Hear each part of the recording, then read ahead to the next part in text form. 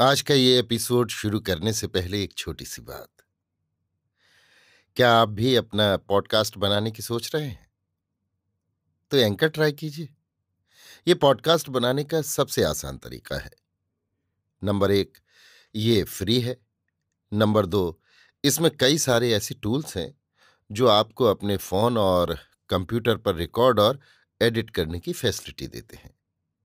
Number तीन आप अपने पॉडकास्ट को डिस्ट्रीब्यूट भी कर सकते हैं, जिससे इसे स्पॉटिफाई और दूसरे प्लेटफॉर्म पर सुना जा सके। तो डाउनलोड कीजिए फ्री एंकर ऐप या विज़िट कीजिए एंकर डॉट एफ़ पर अपना पॉडकास्ट स्टार्ट करने के लिए। ये तो थी एक छोटी सी जानकारी, और अब शुरू करते हैं एपिसोड का सिलसिला। तो आज के एपिसोड में लीजिए सुनिए। रविन्द्रनाथ टैगोर के लिखे उपन्यास, गोरा के अड़तीसवें भाग को मेरी, यानी समीर गोस्वामी की आवाज़ में। परेश बाबू ने बरदा सुंदरी के न रहने पर हरि मोहनी को अपने यहाँ टिका लिया और छत के ऊपर वाली कोठरी में उसे जगह देकर ऐसा प्रबंध कर दिया कि जिसमें उसके पूजा पाठ में कोई विघ्न बाधा न हो। बरदा सुंदरी जब लौट आई, तब वो अपने घर में एक वैष्णवी को टिकी देख जल उठी। उसने परेश बाबू से कहा आपने ये क्या किया है? मैं एक परदेशी स्त्री को अपने यहाँ रहने देना पसंद नहीं करती। परेश बाबू ने कहा, हम लोगों का रहना तुम पसंद करती हो और एक अनाथ विधवा का रहना पसंद नहीं करती। बरदा सुंदरी जानती थी कि परेश को लोक व्यवहार का ज्ञान बिल्कुल नहीं है। दुनिया में किस बात से क्या सुविधा या असुविधा होती है, इस बारे में वो कभी कुछ सोचते ही नहीं। सहसा एक न एक काम कर बैठते हैं। उसके बाद कोई चाहे गुस्सा करे, बिगड़े या रोए धोए वो एकदम पत्थर की मूर्ति बने बैठे रहते हैं। ऐसे आदमी से भला कौन निभा सकता है? ज़रूरत होने पर जिसके साथ झगड़ा भी ना किया जा सके, उसके साथ गृहस्थी, कौन स्त्री चला सकती है?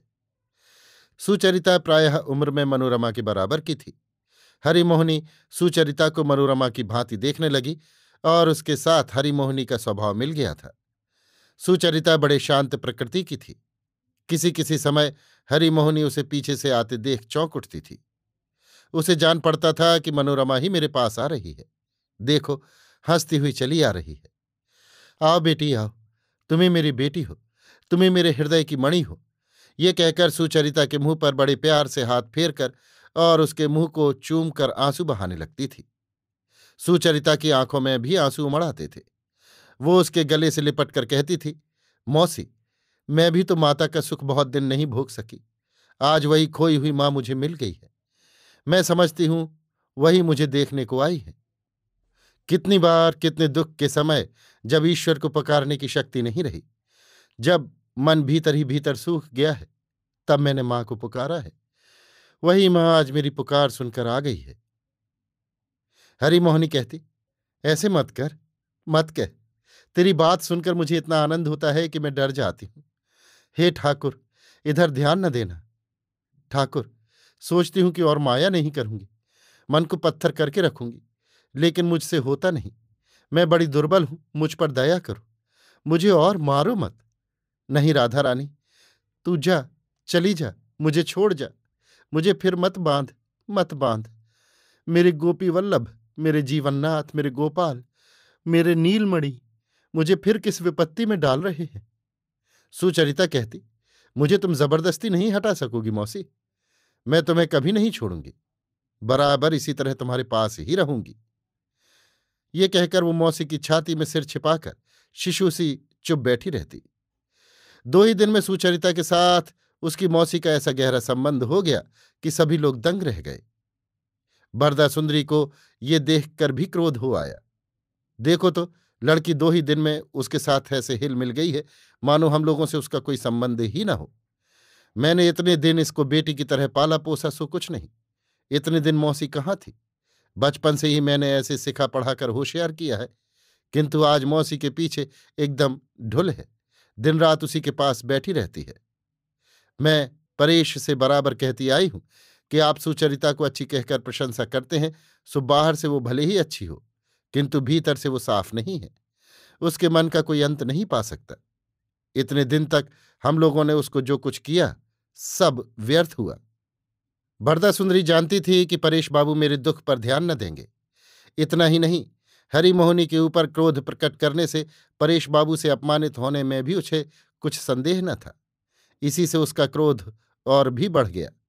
परेश कुछ भी कहें, किंतु उसका मत अधिकांश बुद्धिमान लोगों से मिलता है। इसको प्रमाणित करने के लिए बरदा सुंदरी अपना दल बढ़ाने की चेष्टा करने लगी। अपने समाज के क्या प्रधान, क्या अप्रधान? सभी लोगों के आगे वो देवता पूछती है। मेरी लड़कियाँ उसका ये कुसंस्कार देखकर बिगड़ जाएँगी। इस पर वो अनेक प्रकार की टीका टिप्पणी करने लगी।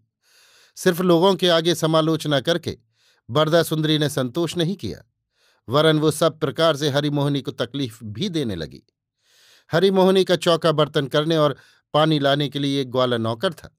उसको वो हरिमोहनी के काम के समय कोई दूसरा काम करने को भेज देती थी। उसकी खोज होने पर कहती थी, क्यों? रामदीन तो है। रामदीन जाति का दुसाध था। बरदा सुंदरी जानती थी कि उसके हाथ का जल हरिमोहनी ग्रहण न करेगी। किसी के ये कहने पर वो बोलती थी, इतने नेम से रहना चाहती है तो हमारे ब्राह्मण घर में क्यों आई? हमारे यहाँ सब नेम धर्म न चलेगा। हमारे यहाँ जात पात का विचार नहीं है। हम लोग छुआछूत नहीं मानती। हमारे घर में रहकर हिंदू धर्म निभाना चाहेगी तो कैसे निभेगा? मैं किसी तरह से नहीं सहूँगी। ऐसे मामलों को लेकर उनकी कर्तव्य भावना बड़ी तीव्र हो उठती। वो कहती, ब्राह्म समाज में धीरे धीरे सामाजिक शैथिल्य बहुत बढ़ता जा रहा है। इसीलिए ब्राह्म समाज काफ़ी काम नहीं कर पा रहा है। जहाँ तक उनका बस चलेगा, वो इस शैथिल्य में योग नहीं देंगी, कभी नहीं। इस पर अगर कोई उन्हें गलत समझे तो वो भी उन्हें स्वीकार है। और अगर घर के लोग ही विरोधी हो जाएँ तो उसे भी वो सिर झुकाकर सह लेंगी। दुनिया में जिन महापुरुषों ने कोई भी बड़ा काम किया है, उन सभी को निंदा और विरोध सहना पड़ा है। इस बात की वो सभी को याद दिलाने लगी। बरदा सुंदरी अनेक प्रकार के कष्ट देकर भी हरिमोहनी को न भगा सकी। हरिमोहनी ने मानो कठिन से कठिन कष्ट सहने का प्रण कर लिया था। उन्होंने भीतर जो असह्य दुख पाया है, मानो बाहर भी उससे सामंजस्य बनाए रखने के लिए वो कठोर आचार के द्वारा प्रतिदिन नए कष्टों का सृजन करती हुई चलती थी। इस तरह दुख को स्वेच्छा से वर्ण करके उसे आत्मीय बनाकर उसे वश में करने की ही उनकी साधना थी। जब हरिमोहनी ने देखा कि पानी लाने वाला कोई नहीं है, तब उसने रसोई बनाना एकदम छोड़ दिया। वो ठाकुर जी को दूध और फलों का भोग लगाकर प्रसाद स्वरूप कुछ खाकर दिन काटने लगी। सुचरिता को ये देख बड़ा दुख हुआ। मौसी ने उसे बहुत तरह से समझाकर कहा बेटी, तुम खेद मत करो। ये मेरे लिए बहुत अच्छा हुआ है। मैं यही चाहती थी। इसमें मुझे कोई कष्ट नहीं, आनंद ही होता है। सुचरिता ने कहा, अगर मैं दूसरी जाति के हाथ का छुआ खाना छोड़ दूँ तो तुम मुझे अपना काम करने दोगे? हरिमोहनी ने कहा, बेटी, तुम मेरे लिए अपना धर्म क्यों छोड़ोगी? तुम जिस धर्म को मानती हो, उसी के अनुसार चलो। मैं जो तुमको अपने पास बराबर हाजिर पाती हूँ, तुम्हें छाती से लगाकर जी ठंडा करती हूँ ये क्या मेरे लिए थोड़ा सुख है?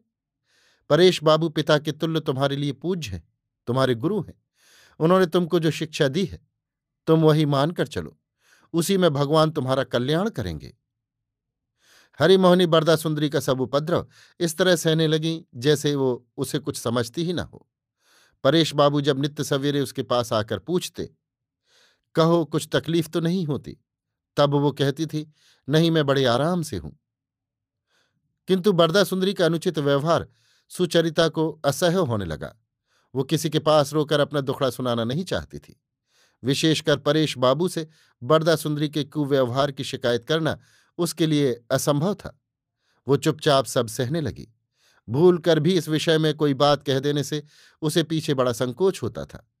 अंत में इसका परिणाम ये हुआ कि सुचरिता धीरे धीरे बरदा सुंदरी के हाथ से निकलकर हरिमोहनी के हाथ का खिलौना बन गई। दिन भर वो उसी के पास बैठी रहती थी। उसी के हाथ का दिया कुछ प्रसाद पाकर रह जाती थी। आखिर सुचरिता का ये कष्ट हरिमोहनी से न देखा गया। हार कर उसे फिर रसोई बनाने का प्रबंध करना पड़ा। सुचरिता ने कहा, मौसी, तुम मुझे जिस तरह रहने को कहोगी, मैं उसी तरह रहूँगी। किंतु तुम्हारे लिए जल मैं अपने हाथ से ला दूँगी। ये काम मैं दूसरे को न करने दूँगी। हरिमोहनी ने कहा, बेटी, मैं अपने लिए कुछ नहीं कहती, किंतु इस जल से ठाकुर जी की पूजा कैसे करूँगी? सुचरिता, मौसी, क्या तुम्हारे ठाकुर जी भी जात पात बांधते हैं? क्या उन्हें भी प्राश्चित करना होगा? उनका भी कोई समाज है क्या? आखिर एक दिन सुचरिता की भक्ति के आगे हरिमोहनी को हार माननी पड़ी। उसने सुचरिता की सेवा संपूर्ण रूप से ग्रहण की। सतीश भी बहन की देखा देखी मौसी की रसोई में ही खाने लगा। इस तरह तीनों मिलकर परेश बाबू के घर में अपना एक अलग ही आश्रम स्थापित कर रहने लगे। सिर्फ़ ललिता इन दोनों आश्रमों के बीच सेतु रूप होकर रहती थी। बरदा सुंदरी अपनी और बेटियों को हरिमोहनी के पास न जाने देती थी, किंतु ललिता को रोक रखना उसके लिए कठिन था। अभी आप सुन रहे थे रविन्द्रनाथ टैगोर के लिखे उपन्यास, गोरा के अड़तीसवें भाग को मेरी यानी समीर गोस्वामी की आवाज़ में।